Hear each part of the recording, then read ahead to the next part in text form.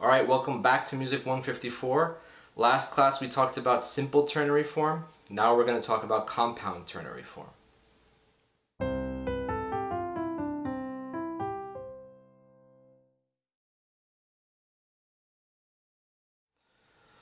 So compound ternary form is really cool because it nests other simple forms into a ternary or three-part fashion. Let's check out what I mean.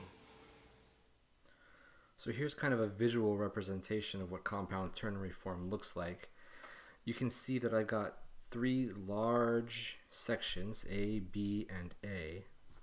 Inside of those large sections, I have fully completed smaller forms. Like I can have a rounded binary or a simple binary or even a simple ternary.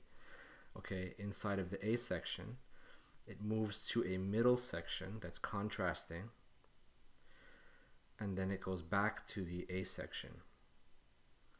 Okay, the same music as before. Could be a large A prime section as well. and you can sort of think about this as these nested forms right? I've got an A section, a contrasting B section, and an A section in my first binary form, let's say here rounded binary, and that's itself an A section. And then I might have an A section and a contrasting B section and an A section in the B section as contrasting. Um, what usually happens, by the way, in the large B sections is say like if the A section is in major mode, the large B section will be in the relative minor or the parallel minor. That's how they achieve the harmonic contrast. Um, and then we'll go back to the A section for the end. Okay, so this is compound ternary form.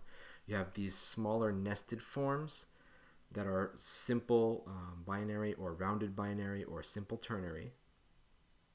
And they themselves get grouped up into three back to back to back pieces. And they each have their own internal contrasts and they have their own large contrasts. Okay, so compound ternary form. By way of example, let's see another guitar piece, this time by an Italian master, Ferdinand Carulli.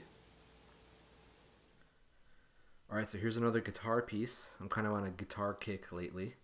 And these are sort of classical guitar masters. This one is Ferdinand Carulli. He's an Italian composer.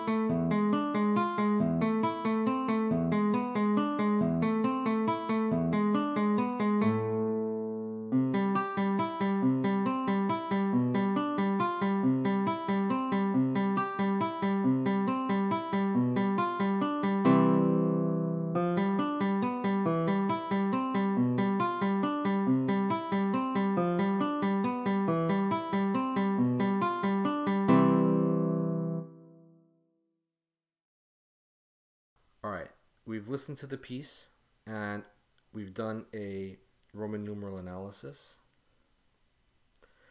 Um, there's a couple of details about this analysis that I'll talk to as we get into it a little bit more. But for the first thing I want you to notice is that we have an A section, a large A section, a large B section, and then this was the same thing as before um, in the simple ternary lesson. We have a da capo al fine sign, which means that after the B section, we're going to go back to the top, the A section, and we're going to end at the fine. So we've effectively repeated the A section. So we've got a large A section, a large B section, and then a return to the large A section at the end. Inside of these large sections are sections in and of themselves. So our first A section has its own A section, and then a B section. Okay, and we are in C major, and it's a full piece in C major. It's a simple binary form right there. You've got an A section and a B section. And then if you go to the larger B section, you have inside of that also an A section and a B section. And this is a simple binary piece in A minor. So you can see now we've got our C major overall tonic, and then we've got our little A minor um, contrasting key. This is relative minor. And then this is a simple binary form as well. And now we're going to go back to the A section for the last simple binary form. And this is what we call compound ternary form. Okay, so now I've got my sections analyzed. Going to my phrases. My first phrase is four bars long, and I've said IAC here. Now, you might ask yourselves, wait a second, what's going on? This is not a root position 5 going to a root position 1. It's a 565. And you are right. I think this particular piece, because it's a guitar piece, might have a couple of changed rules about this. Um, perhaps they couldn't get all of the notes in, like they wanted to get that leading tone in there, but because you have like a texture where the G, the root of the five, is is in the middle voice the whole time. Um, I think guitar really you're forced to have three voices only, and if your root is in the middle voice, you have to have the third in there. So that's how they did it. Because I think that this, I mean, I normally wouldn't call this an IAC, but but because the next phrase is literally the same thing and it ends the section, I'm kind of left to tell to say that this must be the, the cadence.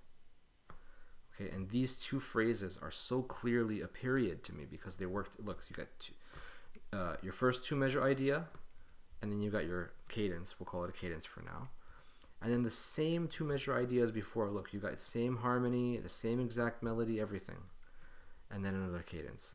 The first cadence you can see kind of ends on an E there in the soprano voice. Like if I'm thinking is this is three voices, the bass, alto, soprano. It ends on an E. And then in the second time it ends on a C. That's the tonic. Okay, so I got a PAC. This is an IAC and this is a PAC. In terms of my motivic breakdown, I've labeled um, the first uh, two measure idea with um, motives. And I think that the first motive is a third down in the melody in the soprano. And then the second motive is motive Y, which is a third up. And you'll see what I mean. If you follow the first A section, you got third down, third up, third up, third down. So I'll say X, Y, Y, X, X, Y, X, and then cadence. It's interesting because a motive can literally be two notes, and that's the case here. All right, let's take a look now at the B section. I've got, again, a questionable IAC, but because this is so clearly a period to me, there's two four-bar phrases working together. I'm just going to call that an IAC. And look here too, this end, this is the end of the piece, and it, it's approached with a 565 to a 1. So I just think that we have to kind of consider because this is a guitar piece and there's only three possible voices, and the middle voice of this 565 is the root. They had to have the third in there somewhere, so they put it in the bass. But functionally, I mean, it ends the piece, so it has to be a PAC. Going into the two measure ideas, here we have one, 5, 4, 2, and 1, 6. And then another one, 5, 6, 5 going to 1. I'm calling this an IAC because if you see in the melody again, the scale degree 3 is in the soprano at the moment of the cadence. And then another two measure idea, which is the same as before, and then another cadence. And this time you see the soprano has scale degree 1. And if we're following the motives, this is X here in measure 9, X in measure 10, X in 11, X in 12, X in 13, X in 14, X in 15, and then in 16 you have your cadence note. So this motive B is contrasting because it only uses motive X. Y is completely out of the picture, so you get kind of this different this different vibe. All right, so that's our first A section. It is in and of itself a complete simple binary form. Let's take a look now at this B section. Its A section breaks down periodically as well. So I've got a four bar phrase followed by another four bar phrase. This time, the possibility of labeling this a cadence is much better. So I've got my first two bar phrase, which is in A minor, all tonic and then a 5-7 in root position going to a 1. And you can see that my soprano voice has scale degree 3 in it, so this is an IAC. And then the same exact the same exact two measure idea returns here from before, so this is giving it this periodic structure. And then a 5-7 and then going to a 1. And this time the cadence in the soprano is on scale degree 1. So this is our PAC. So we've had an IAC and then a PAC. This is much more clearly a period. This B section is a little bit confusing. Um, there's no cadence until the eighth measure of it, so until measure 32. So I'm going to put a big slur over the whole deal. However, if you look, I've got my first two measure idea and my second two measure idea and then a third two measure idea which is the same as all of these and then a cadence. And normally um, if I have a sentence type structure I would not have these two two measure ideas labeled off. I'd say it's continuous music. It's continuing for four bars until the cadence but here it's clearly structured 2 plus 2 plus 2 and then a cadence for two more and I might have labeled a cadence here like I had in all the previous sections of this compound ternary form. However, it's impossible for me to label a 164 as any kind of a cadence. So that's where the ambiguity lies, is on this 164 at the end of this phrase. And kind of forces me to think that, okay, now you've got these E's in the bass the whole way through, just until the very end. Um, going back to the top of my B section, its A section, look, you can see you've got motive X, motive Y, motive Y, motive Y, going up, and then motive X, motive Y, motive X, and then the cadence note. Its B section, motive Y, motive Y, motive Y, motive X. Motive Y, motive Y, motive X. Lots of contrast here because of this overall A minor tonic sounding against this C major tonic in the first A section. And when we go back to it, you really feel like you've come back home. All right, let's give it a listen.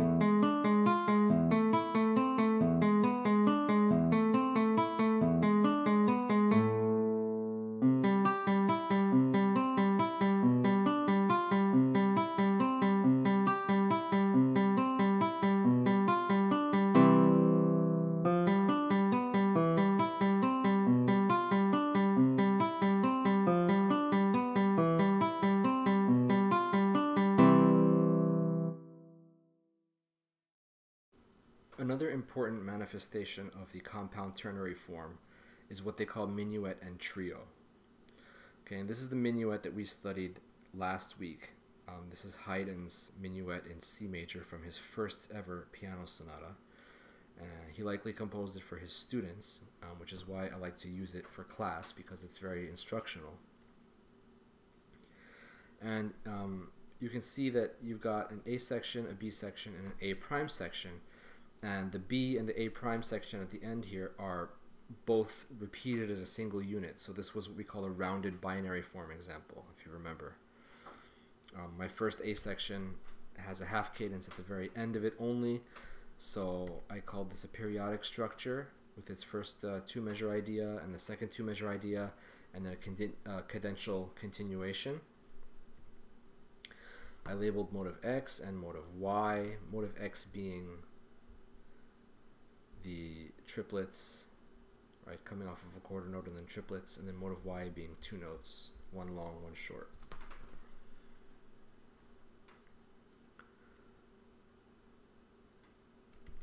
The B section is also, uh, the B section is four bars, uh, ending in a half cadence, and I've got two measure idea plus two measure idea. We did this all last week.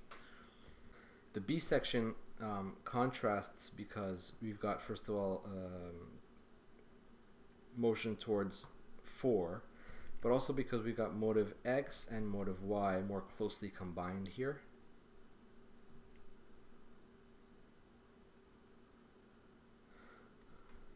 Now, if we look at the A prime section, we got a whole eight bars until a cadence, two measure idea plus two measure idea plus a cadential continuation all the way until the end.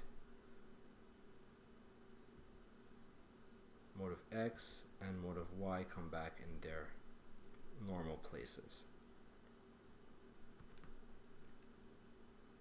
So that's the minuet version of this. Now, the next section is called the trio, and I gave you this for homework, so I'm not going to do a full analysis of this for you in the video. Um, I'll expect that you have done this and you have sort of a sense of what you think that it is. Um, but just you can see off the bat that we've got contrast because um, it's in the tonic parallel minor. Okay, so there you have a whole contrast, and this itself is also a kind of a form, a kind of a binary form. Um, whether it's rounded or simple, I leave that to you to decide. But this is the trio section of the same piece. And so now, after this piece is over, which we'll listen to, we go back to the first section, which was the minuet. Now, when this happens, normally they don't do the repeats so it just goes straight on through to the end. So let's give this whole thing a listen now. The minuet, trio, and then minuet as a compound ternary form made up of individual smaller binary forms.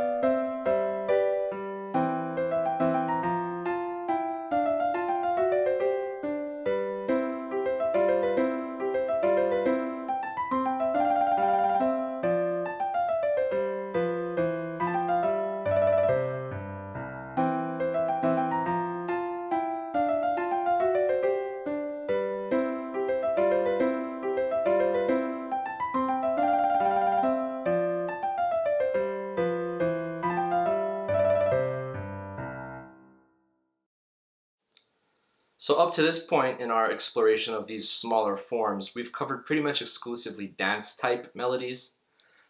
Um, now, I want to go into something that is definitely a song.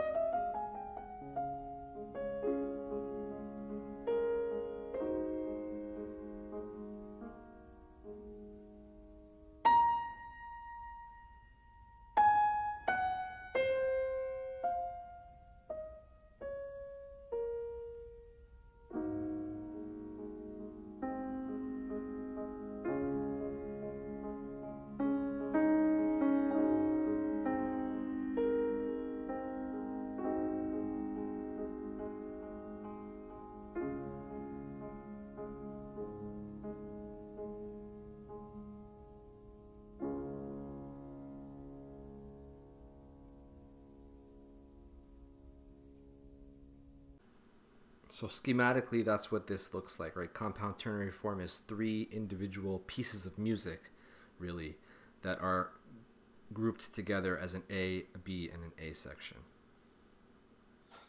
Okay, thanks for watching. I hope you enjoyed the class. If you need to review any of the topics covered so far this semester, you can go back and watch these videos.